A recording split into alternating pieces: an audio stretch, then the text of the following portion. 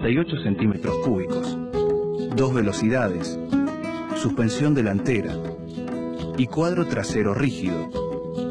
El asiento es individual y tras él se ubica un portaequipaje de caño tubular. Su característica inconfundible es la palanca de cambios ubicada en el tanque. La moto arranca con pedales duales tipo bicicleta. Frena a contrapedal con patines y cintas.